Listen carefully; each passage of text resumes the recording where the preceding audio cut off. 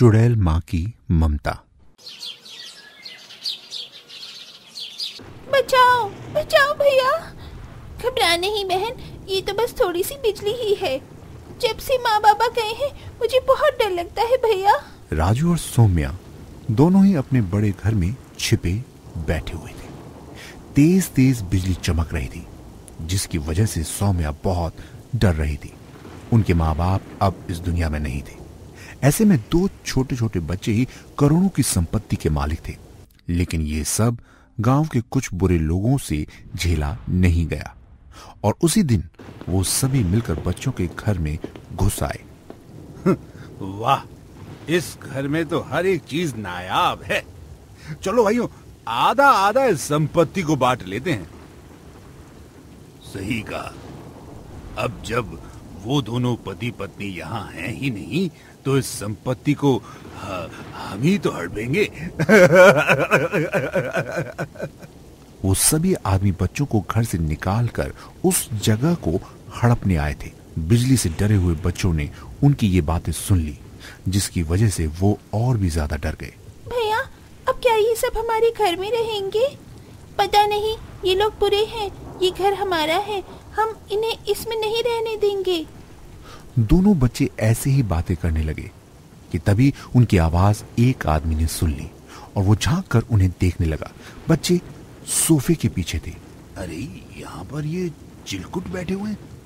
इनका क्या करना है? उस आदमी ने उन बच्चों को वहाँ से निकाल लिया। बच्चे बहुत ज़्यादा घबराए हुए थे और गाँव वाले उन्हें डरावनी नज़रों से देख रहे थे। हाँ तो तुम दोनों खुद ही यहाँ से चले जाओगे या मुझसे कष्ट करवाना चाहते हो? कहीं नहीं जाएँगे। ये, ये हम, हमारा घर है। हम यहीं रहेंगे। क्या बोला तू? तेरा घर है? यही बोला ना? चल निकल वरना तुम्हें भी तुम्हारे माँ बाप के पास ही पहुँचा दूँगा। नहीं नहीं नहीं हम नहीं जाएँगे। तुम लोग बुरे हो तुम यहाँ से जाओगे। राजू की बात सुनकर अब उस आदमी को और गुस्सा आया और उसने उसका कॉलर पकड़कर उसे ऊपर उठा लिया। अपने भाई के साथ ऐसे होता देख सौम्या डर गई और वो ज़ोर ज़ोर से रोने लगी। भैया छोड़ो मेरे राजू भाई को। बच्ची खूब चिल्ला रही थी लेकिन उन हैवानों पर कुछ भी असर नहीं हो रहा था। वो बस राजू को फेंकने ही वाला था कि तभी ज़ोर से बिजली चमकी और दरवाजे पर उन्हें एक औरत की परछाई सी नज़र आई। कौन? कौन है वहाँ? उस आदमी ने काफ़ी बार पूछा लेकिन कोई जवाब नहीं आया। फिर उसने एक आदमी को बाहर देखने को बोला। कौन है यहाँ? कौन है यहाँ? उस आदमी की आवाज़ सुनकर बाकी के आदमी भी आए लेकिन वो भी अंदर लौटकर नहीं गए। अंत में जिस आदमी ने राजू को पकड़ा हुआ था वही बाहर देखने को आया और उसके होश उड़ गए। उसके सभी साथी मर चुके थे।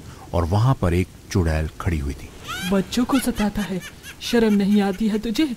चल अब मैं तुझे सजा दूँगी।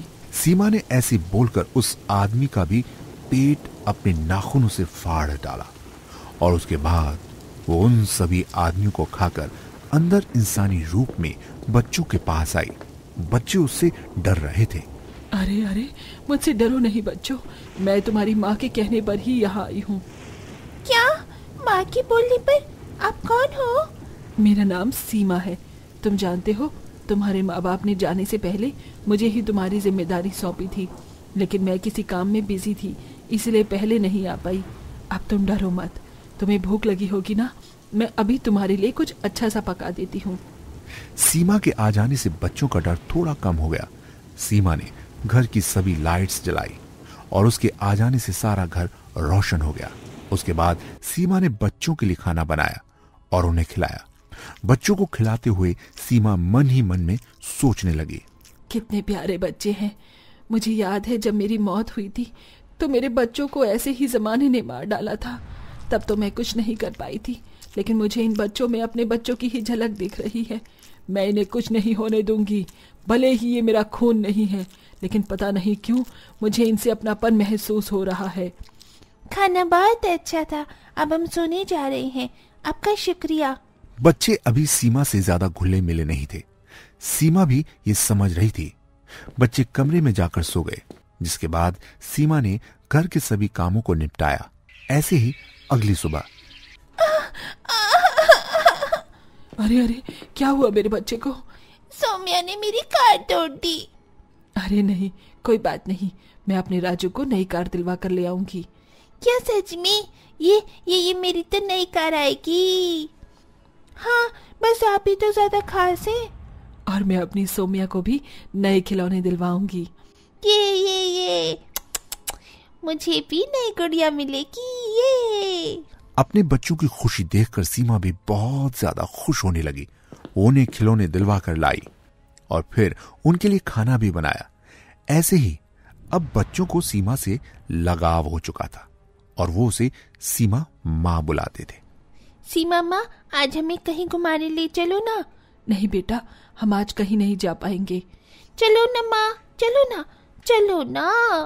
बच्चों की जिद को सीमा मना नहीं कर पाई और वो उन्हें पार्क में घुमाने ले आई जहाँ पर एक शरारती बच्चा राजू और सौम्या को सताने लगा। मेरी गुड़िया वापस दे मोटू।